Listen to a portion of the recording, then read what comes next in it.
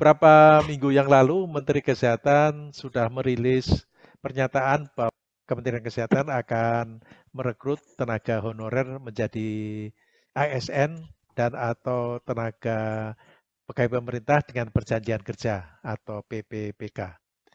Nah, sesuai dengan peraturan pemerintah nomor 49 tahun 2018 tentang manajemen pegawai pemerintah, eh, pemerintah dilarang untuk mengangkat pegawai non-PNS atau tenaga honorer untuk mengisi jabatan ASN. Padahal pada saat ini ada sekitar 200 ribu tenaga kesehatan non-ASN. Nah, mereka itu harus apa namanya uh, harus bisa diselesaikan sebelum tahun 2023, di mana tidak ada lagi tenaga honorer. Dalam yeah. mengatasi honorer ini ada empat isu yang ingin saya sampaikan. Mungkin nanti kita bisa bahas satu persatu secara singkat. Uh, pertama adalah bahwa masalah honorer ini sudah ada sejak lama. Sudah coba dihapuskan dengan pemutihan, diangkat semua tenaga honorer menjadi pegawai negeri, atau sekarang ASN, tapi ternyata setelah itu tumbuh lagi. Yang kedua, sebenarnya mereka diberi kesempatan untuk ikut testing untuk menjadi ASN, tapi kalah waktu bersaing dengan apa tenaga kesehatan eh, non honorer, dia belum pernah bekerja di situ. Mereka kalah sehingga mereka tidak diangkat. Yang ketiga, bagaimana dengan nasib tenaga honorer non kesehatan? yang menjadi tenaga administrasi, sopir, dan lain-lain. Yang keempat isunya adalah uh, jumlah honorer kelihatannya lebih banyak dari lowongan yang tersedia. Kalau begitu bagaimana kriteria pengangkatannya uh, karena tidak bisa semua honorer akan diangkat menjadi PSN. Apakah kemudian mereka pasti diangkat sebagai pegawai pemerintah dengan perjanjian kerja atau bagaimana?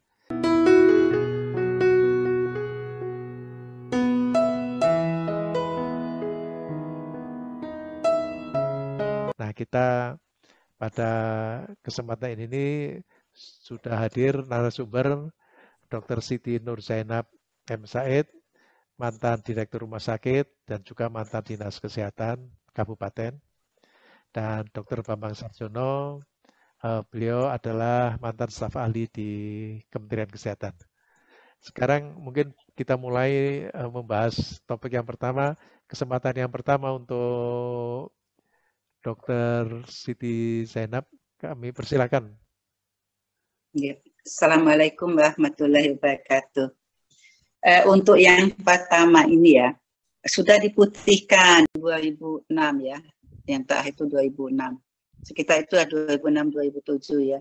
Itu kan banyak sekali kan yang diputihkan menjadi uh, menjadi ASN dengan ada pembagian-pembagiannya.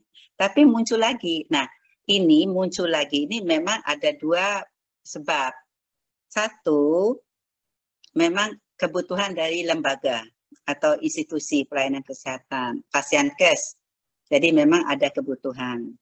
Tapi yang kedua, mungkin juga tidak tidak dibutuhkan di situ, tetapi mereka itu di e, dititip titipkan ya dengan harapan pokoknya honor aja dulu nanti akan di toh nanti juga akan ada lagi pemutihan akan diangkat. Nah mereka itu banyak yang tidak semua itu juga digaji mau ya. Yang penting dia bisa nunut di situ kemudian mengharapkan jadi ASN nah jadi itu. Akhirnya kan ada lagi. Nah selain itu nitip itu juga kadang-kadang mohon maaf ya yang nitip-nitip ini tuh bisa karena keluarganya pejabat kesehatan.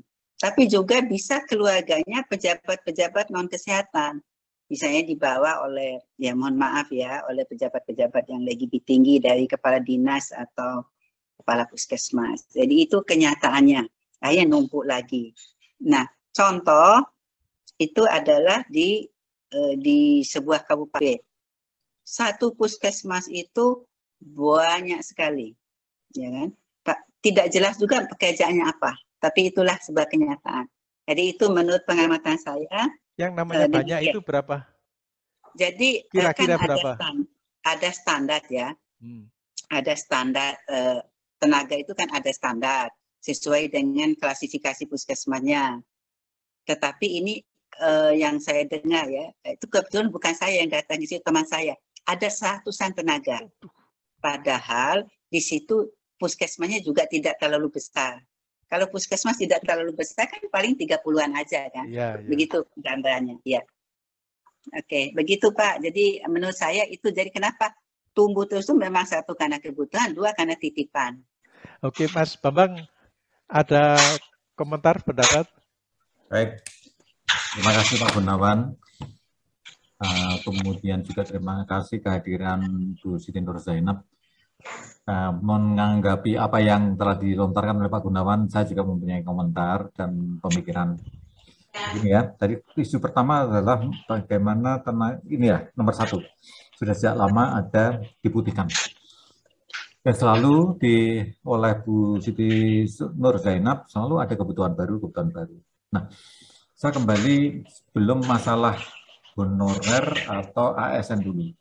Tetapi kita sudah punya rumus baku sebenarnya, standar, atau eh, bukan standar, step-step atau langkah-langkah yang dipenuhi dalam rekrutmenan atau untuk pengerahan tenaga kesehatan. Tentunya kita masih ingat, yang pertama tentunya masalah yang dihadapi apa dulu, masalah yang sehingga kita membutuhkan tenaga kesehatan tersebut. Yang kedua adalah analisis kebutuhan kita sudah biasa untuk melakukan itu, analisis kebutuhan berdasarkan masalah. Yang ketiga adalah kompetensi yang dibutuhkan. Nah, yang keempat adalah rekrutmen itu sendiri, dan kelima adalah pengeterapan. Jadi langkah-langkah ini memang harus selalu diperbarui terus. Jadi, nah sekarang eh, kita akan mencoba dulu apa jadi gini lepas dari ada kata belece atau titipan atau apa tapi sesungguhnya suatu institusi pemerintah itu di awal sudah punya standar juga. Standar puskesmas tipe A itu apa atau pertama hanya paripurna dan lain-lain ya. Ada standarnya. Standar tidak hanya tenaganya tapi juga gedungnya fasilitas alat kesehatannya dan kita bisa tentang tenaga itu. Jadi sebenarnya sudah ada rumusnya. Nah, memang pada langkah-langkah ini harus kita penuhi dan harus kita apa, laksanakan. Nah, Pak Gunawan dan Bu Nur, saya hanya ingin mengangkat isu bahwa eh, pemikiran saya bahwa selama ini sebelum tenaga itu dipenuhi, standar tenaga itu dipenuhi, itu biasanya, wah sebelum ada ini ya kita angkat yang ada dulu lah. Nah itu sebenarnya tidak, uh, karena mungkin masa uh, apa pendaftaran atau perekrutan itu belum mulai, yang ada dulu lah, yang penting terlaksana. Misalnya suatu puskesmas membutuhkan tenaga lab, tapi belum masanya untuk adanya rekrutmen. Akhirnya ya sudah yang ada dulu lah. Nah, orang zaman sekarang itu mencari pekerjaan. Jadi mungkin ada orang-orang yang ya sudah pokoknya mau bekerja untuk mengerjakan lab. Lepas dia itu berkompeten atau tidak, pokoknya dikerjakan dulu. Padahal harusnya kompetensi dulu. Nah, isu yang diangkat Pak Gunawan berikutnya adalah, tadi kalau nggak salah apakah nanti nyangkut atau tidak, itu tentang ASN ya, pemenuhan tenaga kesehatan kadang-kadang itu eh, diangkat tenaga yang baru fresh yang mengalahkan tenaga honorer yang ada. Jadi gini, kita eh, sering di kantor-kantor itu tenaga lab yang tadi yang sudah kita apa ya angkat ya katakanlah ya itu di sudah dilatih sudah kan dilatih itu maksudnya dilatih oleh tenaga puskesmas yang lain, sudah berpengalaman mungkin dua tahun, tiga tahun, dia bisa tenaga yang biasa-biasa saja, mungkin juga bisa tenaga yang lulusan dari akademi laboratorium misalnya. Nah, pada waktu hari ditentukan apa ya rekrutmen besar-besaran, dia daftar, tapi si eh, tenaga honorer ini kalah dari ASN lain atau tenaga lain yang kebetulan daftar fresh graduate, menang dia. Akhirnya tenaga honorer ini kalah bersaing dan akhirnya tidak masuk. Padahal dia sudah teruji kepandaiannya, kepiawaiannya, dan juga loyalitasnya sudah, tapi kalah. Nah ini ya, apakah ini berkaitan atau tidak? Tapi sama mengamati ini terjadi ini hal seperti ini, sehingga tenaga-tenaga yang baru mendaftar tadi dan masuk, kita nggak tahu bagaimana loyalitasnya, kinerjanya, tapi dia masuk by by ilmunya karena fresh graduate dia menang.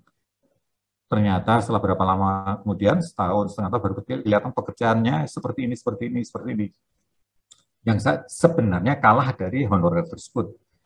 Tapi secara hukum dia sudah jadi pegawai dan kalau sudah jadi pegawai tidak gampang bagi pemerintah untuk memperingati atau memecat ya. Karena juga uh, walaupun tes kesehatan ada bagus ya. Tapi kadang-kadang di tengah-tengah itu baru kelihatan ada pegawai yang sesungguhnya dia mengid, bukan mengidap ya mempunyai penyakit yang lain misalnya. Bukan penyakit sebenarnya.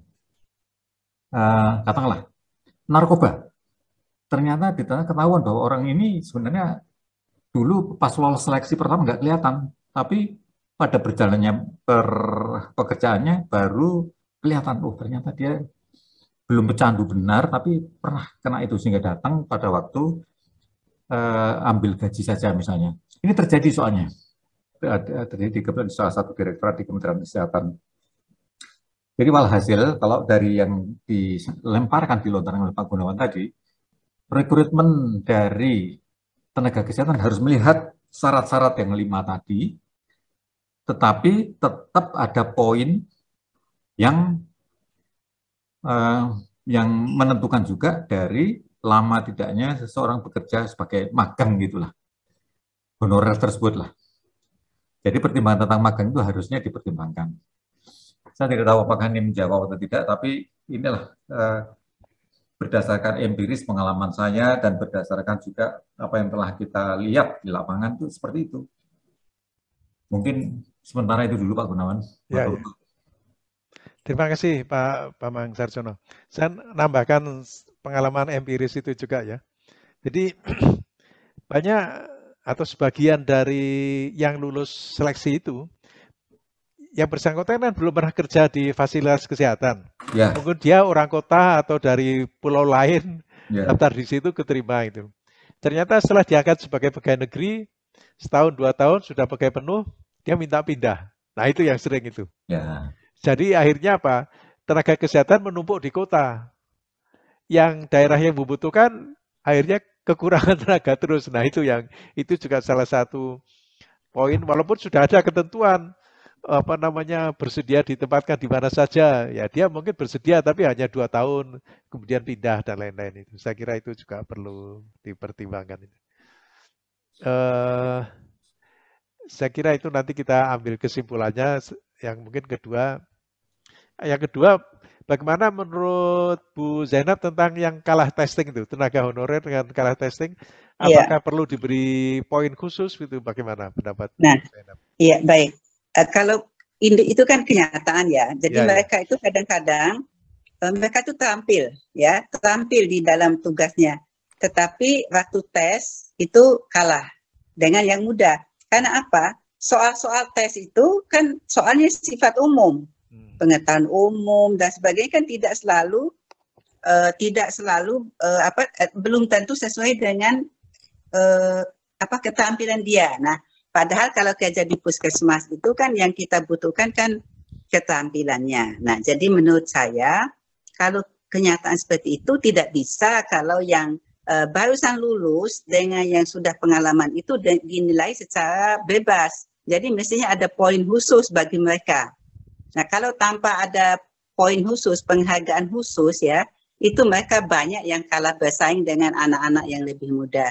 Padahal mereka sudah lama bekerja, makin sudah makin terampil juga dan juga dibutuhkan oleh institusi tersebut. Begitu Pak Gun. Ya, terima kasih. Jadi kita kesimpulannya itu untuk rekrutmen uh, ada perlu poin khusus yang ya. besarnya itu cukup signifikan. Jadi jangan 100 cukup signifikan. Ya, jangan 100 poin hanya diberi lima poin gitulah misalnya. Jadi harus harus Oh, signifikan. tidak, tidak, tidak bisa. Jadi dia harus ya harus signifikan lah. Ya mungkin uh, ya apa tekniknya ya, tapi itu ya. dia harus memiliki bobot yang cukup tinggi. Ya. Karena apa? Memang dibutuhkan dan sudah terampil. Ya. Nah, okay. sementara soal soal yang di, diberikan itu ya soal yang sesuai dengan apa ya dengan ya anak-anak muda yang baru lulus jadi ya mereka jadi kalah gitu pengalaman saya oke okay.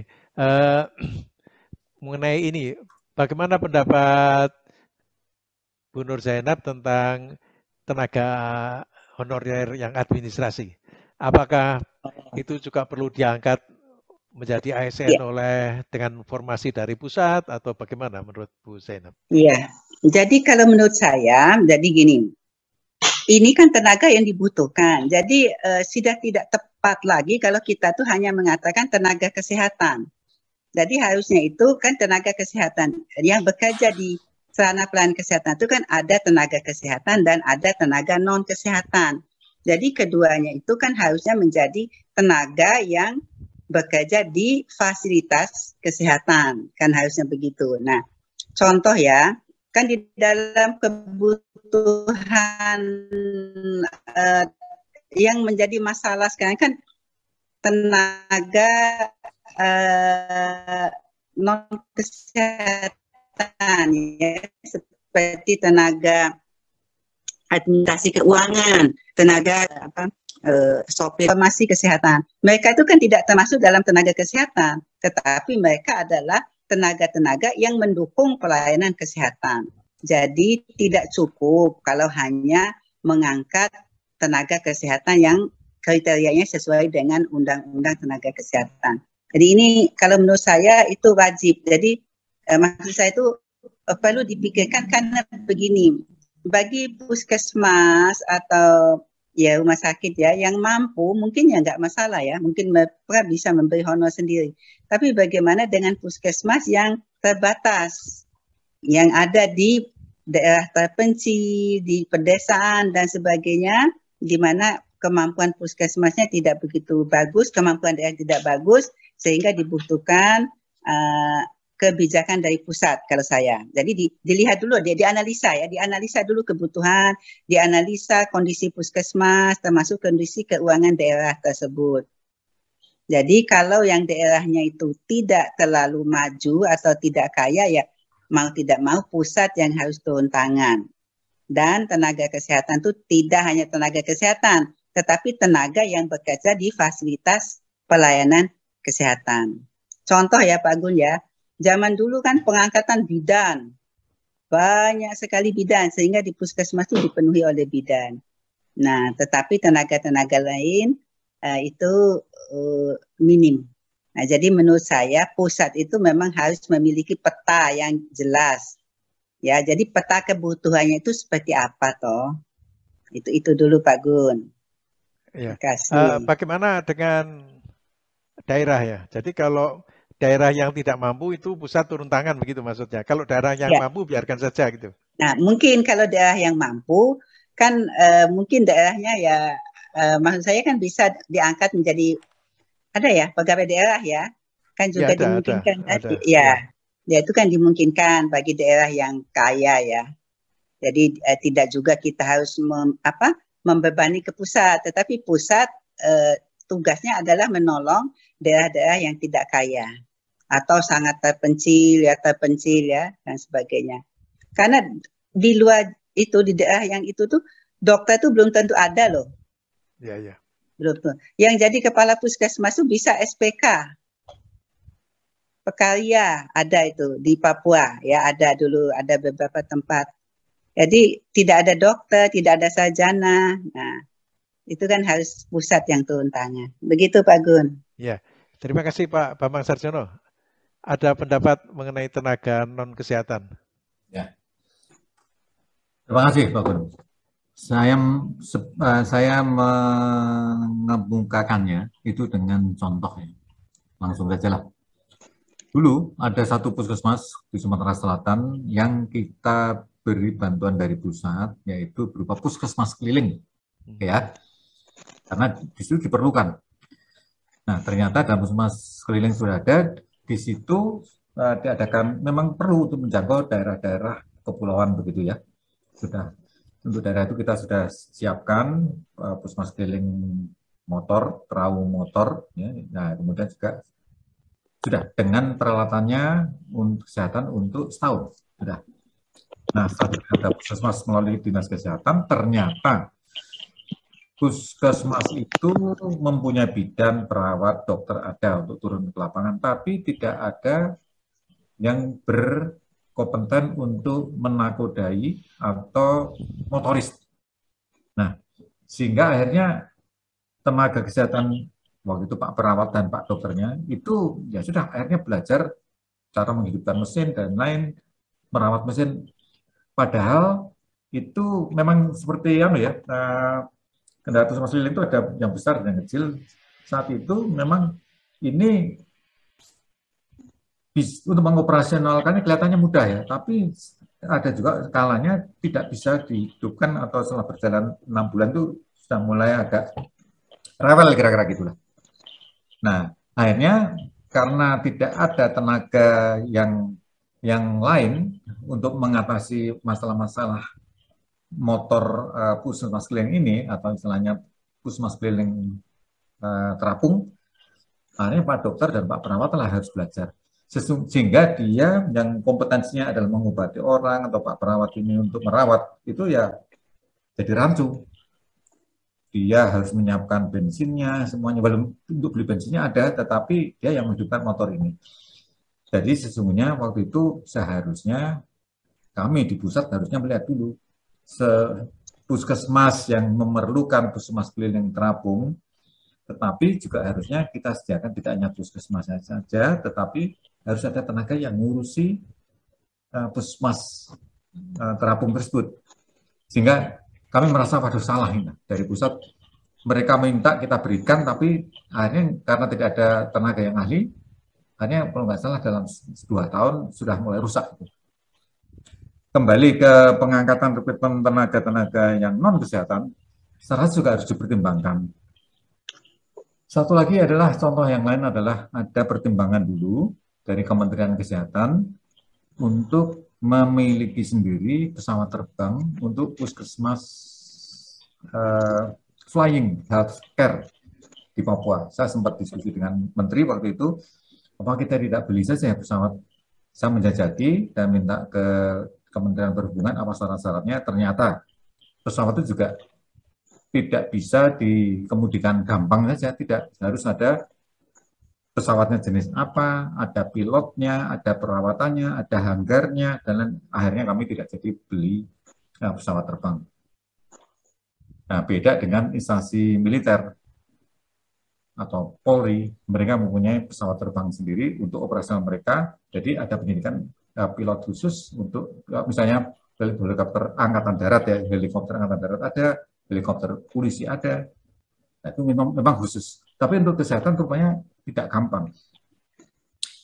Kembali ke tenaga non kesehatan, menurut saya eh, kita sebenarnya tidak usah harus memiliki sendiri sih. -hal seperti inilah yang namanya outsourcing tersebut. Jadi eh, kebutuhan pengoperasian suatu eh, apa ya suatu pekerjaan uh, misalnya apa ya turun dalam flying healthcare itu sebenarnya bisa diidentifikasi tenaga kesehatannya harus orang kesehatan tetapi kita bisa me, meminta bantuan atau meminta dari luar outsourcing. Jadi profesional kesehatan tetap berjalan tapi yang menjalankan profesional pesawat atau puskesmas terapung tersebut jalan jadi ini harus melalui pengkajian yang dalam karena beberapa kebijakan yang dilakukan oleh kami saat itu di universitas kadang-kadang juga tidak pas ya, sampai lapangan tidak pas. Mungkin itu sementara Pak Gunawan. Oke, Mungkin anu ya. Ya, silakan uh, tambahkan ya yang disampaikan oleh Pak Bambang itu jadi ini tapi tidak tahu sekarang ya waktu saya zaman saya di puskesmas juga itu mohon maaf ini ya. Kan tiba-tiba aja kita tuh mendapat kiriman alat misalnya. Nah kiriman alat itu yang canggih-canggih ya tanpa disertai dengan uh, bagaimana mengoperasikannya.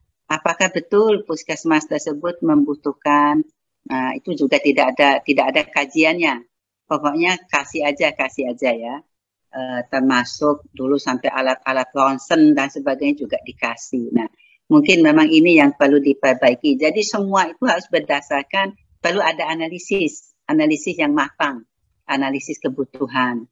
Ya, jadi ya, ya baik alat dan peralatan harus disertai dengan uh, bagaimana kalau uh, apa namanya itu kalau terjadi masalah juga dengan alat, alat-alat itu ke mana harus eh, apa namanya itu mencari bantuan, ya kan? Nah, itu itu juga menjadi sebuah eh, permasalahan tersendiri untuk puskesmas.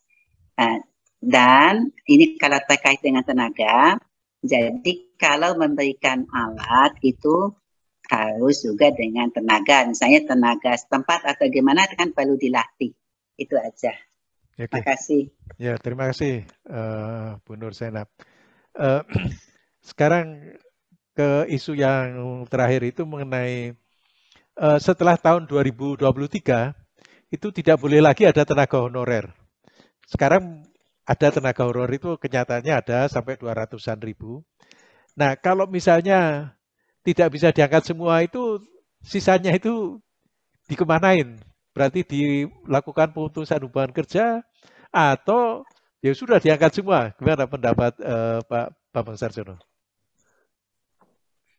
Terima kasih Pak Gunawan. Tetap uh, bagi saya tetap menyarankan supaya melakukan uh, apa, uh, lima step dari uh, itu sudah laksanakan saja. Kalau memang diperlukan ya mau memanfaatkan tenaga honorer yang ada berarti juga mengangkat ya sudah ke, uh, diangkat saja. Tapi kalau misalnya uh, ada yang lebih uh, tergantung uh, ketersediaan uh, apa ya uh, dananya juga. Kalau menurut saya sekarang arahnya itu adalah efisien dan efektif. Hmm. Tetapi di sisi lain, apakah ini juga berkaitan dengan uh, pemerataan pekerjaan atau istilahnya lapangan pekerjaan? Jadi kita berpihak yang mana ini? Kita itu pemerintah itu mau menyelenggarakan yang yang seperti apa? Kalau mau yang efektif, efisien, ya sudah sesuai kebutuhan saja. Tapi dengan pertimbangan bahwa tenaga yang ada itu qualified semua, tapi juga harus dipertimbangkan bahwa kalau mesin, misalnya mesin, itu juga ada masa pakainya. Manusia juga ada masa pakainya. Selain pensiun, itu juga bisa ada sakit, ada ini, ada yang lain ya, dan harus siap untuk menggantikan. Jadi mekanisme yang harus dikaji terus jadi tidak salah saya rasa kalau setiap instansi itu melakukan perhitungan kebutuhan tenaga untuk operasi berikutnya. Hal-hal seperti ini sebenarnya sudah dianut di kemiliteran ya, kemiliteran dalam perang ya, perang atau suatu operasi lah, operasi tidak perang saja, tapi bisa suatu tindakan apa ini non perang misalnya. Nah itu juga suatu kegiatan seperti apa, tenaganya cukup enggak, kemudian disiapkan betul, tapi itu biasanya dengan tujuan setelah operasi selesai, selesai. Nah, masalahnya kontinuitas itu terjadi di pelayanan-pelayanan masyarakat. Nah, itu yang harus cermat betul untuk menghitung siapa yang pensiun, siapa yang kira-kira uh, harus diganti. Juga ada yang orang-orang uh, belum tentu seorang itu diangkat jadi pegawai terus jadi baik terus ada yang nakal, ada yang balelo, ada yang istilahnya malas-malesan, apalagi yang lama-lama, itu kadang juga ada, tidak banyak sih, tapi ada juga yang dia tidak pernah masuk atau telat-telatan gitu, nggak peduli dengan peringatan 1, 2, 3, pokoknya setiap bulan datang. Itu kalau sudah setiap bulan datang, pada waktu ambil gaji sudah tidak ada alasan lagi bagi instansi yang bersangkutan untuk memecat yang bersangkutan. Setahu saya seperti itu. Kemudian tiap, tiap bulan datang kok. Nah, walaupun tetap ada setelah peringatan tertulis, yang kedua bisa dipecat sebenarnya. Tapi dengan segala cara mengadukan ke petun dan lain enggak jadi pecat lagi. Jadi seperti itu yang yang saya amati. Intinya butuh eh, kembali ke depan ya, butuh analisis kebutuhan terserah mau dua tahunan, tiga tahunan, nah atau seperti militer setelah operasi selesai selesai. Mungkin sementara itu Pak Gunawan. Oke. Terima kasih. Uh, Bu Nur Zainab ada tambahan? Iya, jadi begini, uh, jadi seperti kata Mas Bama, jadi meskipun itu mau diangkat yang dua ratus ribu itu, itu harus dianalisis dulu. Apa betul butuhnya itu 200 itu dan orangnya itu ya jangan-jangan beda gitu ya. Nah jadi analisis kebutuhan itu satu berdasarkan standar standar pegawai sesuai dengan klasifikasi puskesmas atau rumah sakitnya. Dan ada yang kedua kan analisis beban kerja. Ya, jadi kan bisa saja e, misalnya standarnya cukup satu atau dua, tetapi dari analisis beban kerja mungkin dibutuhkan lebih. Jadi ini dan kebetulan e, di musim akreditasi, di musim akreditasi ini puskesmas itu juga sudah memiliki hitungan-hitungan ini. Jadi beda dengan mungkin waktu kita dulu uh, anu ya, waktu kita aktif ya, itu kan masih berdasarkan apa ya, ya istilahnya itu udah ini aja. Nah, sekarang itu kan sudah sudah ada. Jadi itu saya pikir itu harus dipakai betul. Jadi menggunakan kalau betul puskesmas sudah menggunakan uh, apa uh, instrumen itu itu dipakai. Jadi jangan saya lagi kayak dulu, seingat-ingatnya, saya suka-suka atau apa gitu ya. Nah, kemudian jadi hak wajib itu. Nah, kemudian juga nanti kan masalahnya itu, misalnya mereka sekarang diangkat, tapi nanti baru dua tahun sudah dipindah ke kota. Akhirnya yang yang rugi kan yang di desa tadi, yang butuh. Nah, ini saya pikir pemerintah harus tegas, ya tegas jadi dibuat perjanjian dulu, misalnya dibuat berapa lima tahun atau berapa ya, monggo ya. Dan tadi seperti kata Pak Bambang, jadi misalnya dia wajib lima tahun di situ. Nah, tapi berikutnya itu sudah harus ada juga ini, harus ada desain. Nanti bagaimana setiap lima tahun itu supaya terisi kembali, ya kan? Misalnya kalau lima tahun. Jadi tidak bisa seperti sekarang. Saya lihat itu baru dua tahun aja pindah. Dan itu dibolehkan ya. Karena apa? Tidak ada ketegasan dalam pengaturan. Jadi tidak ada sanksi atau apa pun yang tegas. Jadi ini kelemahan kelemahan kita itu adalah di dalam masalah. Kalau dulu masalah eh, paling pandai kita kan pelaksanaan.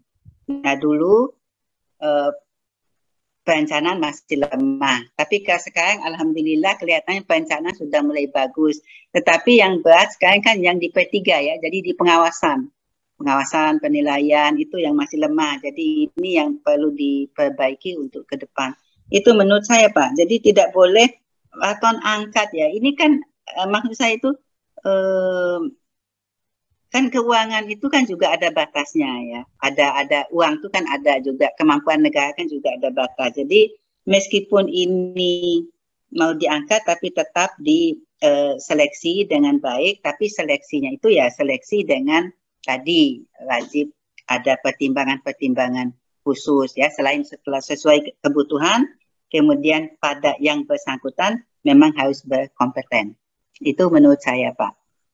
Oke, tidak bisa dia kalau lolos begitu apa namanya bebas terjun bebas disaingkan dengan anak-anak baru ya banyak yang kalah. Terima kasih. Oke, terima kasih. Uh, saya agak apa namanya? Saya kira ini isinya istilahnya itu daging semua. Jadi kalau mau dibuat kesimpulan juga nanti terlalu panjang.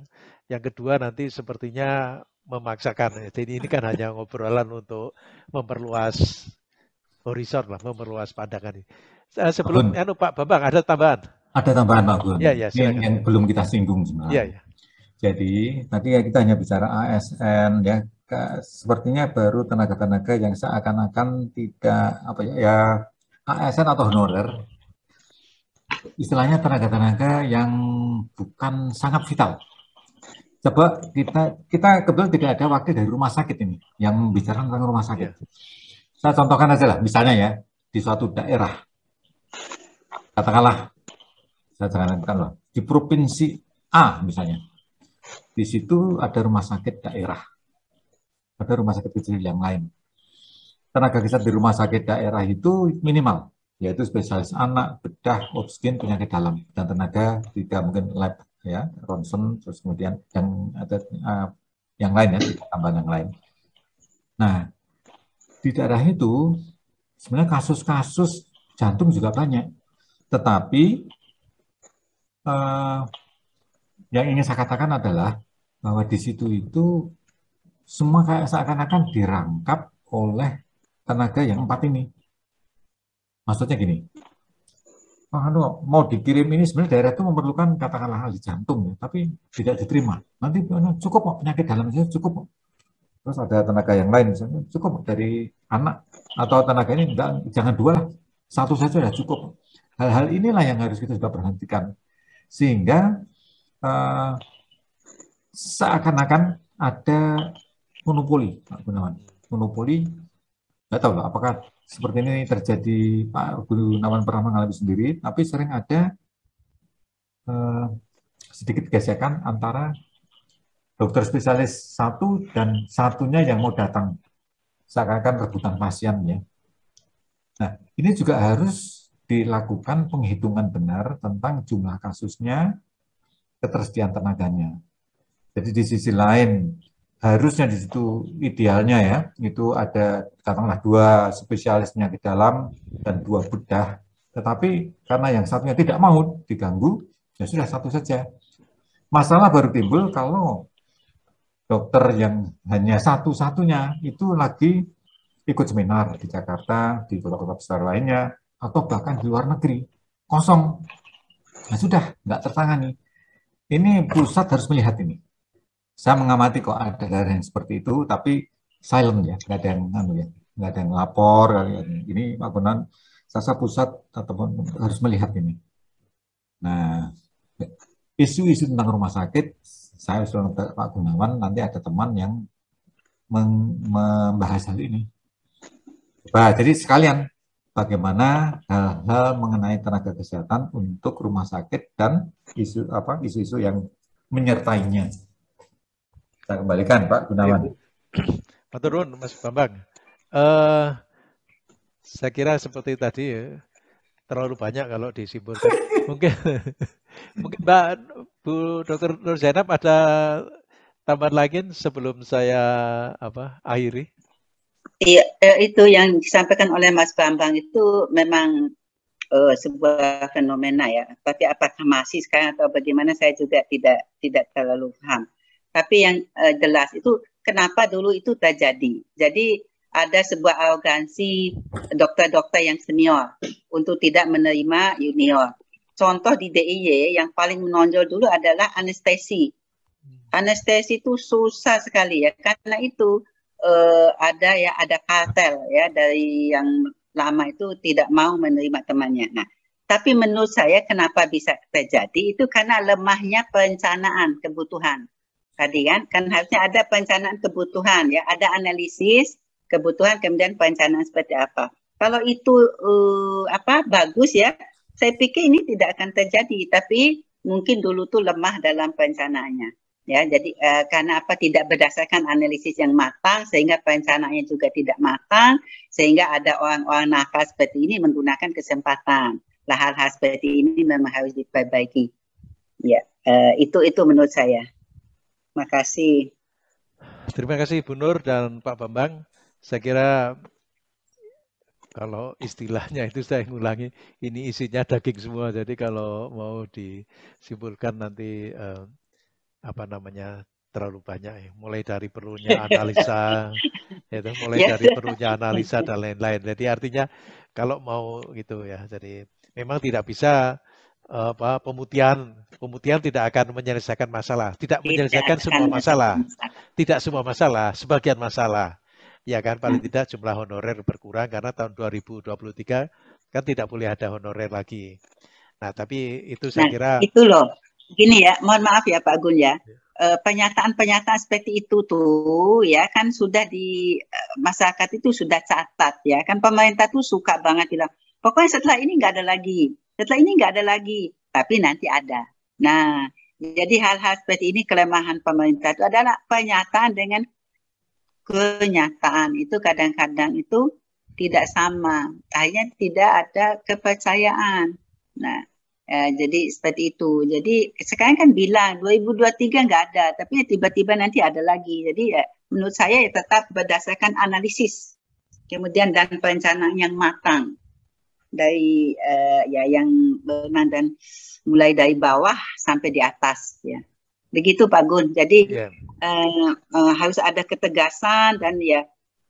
Tapi masalah itu menjadi sulit menjadi tegas itu kalau sudah terlibat lagi lah para pejabat-pejabat pengambil keputusan itu. Nah, tapi ini kalau saya pikir kalau pemerintah sudah mulai bisa tegas, bisa anu, saya pikir lama-lama juga sistem akan akan tegak kok.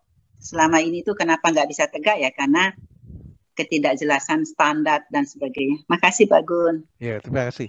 Uh, dulu kan belum ada peraturan pemerintah tentang ini. Ini kan sekarang sudah ada itu Pemeraturan iya. Pemerintah Nomor 49 Tahun 2018. Nah itu tergantung nanti penegakannya gimana itu saya kira. Nah, tapi saya kira yang disampaikan oleh Pak Bambang maupun Bu Nur perlunya analisa yang dilakukan secara periodik ya tiga tahun atau iya. setiap lima tahun baik di dalam hal untuk kebutuhan tenaga dan lain-lain. Jadi itu step-step seperti yang disampaikan Pak Bambang itu saya kira sangat perlu. Eh, karena kalau dengan modal pemutihan itu hanya menyelesaikan sebagian masalah, nanti akan ada masalah yang lain. Saya kira demikian. Dan itu loh Pak, ya. Apa definisi tenaga kesehatan itu? Harus uh, maksud saya itu uh, jadi selain tenaga kesehatan yang sudah ada sesuai dengan undang-undang tenaga kesehatan itu ya yang perlu diperhatikan juga itu adalah tenaga-tenaga yang bekerja di sarana pelayanan kesehatan. Itu harus mendapat perhatian ya. Karena mereka tanpa mereka juga sebuah pelayanan sebuah sistem tidak akan jalan ya udah ada canggih dokternya spesialis dan sebagainya tapi tidak ada sopir yang akan mengantar kalau perlu rujukan dan sebagainya juga sulit ya makasih ya terima kasih Bu Nur